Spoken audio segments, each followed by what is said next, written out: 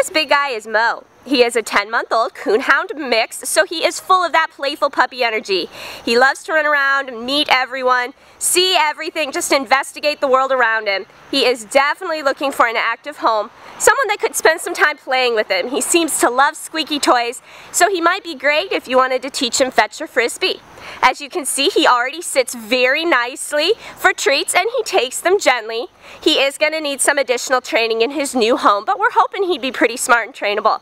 He is learning to walk nicely on a leash, but he does pull a little bit, and he definitely has that curious hound personality. Loves to smell and sniff everything.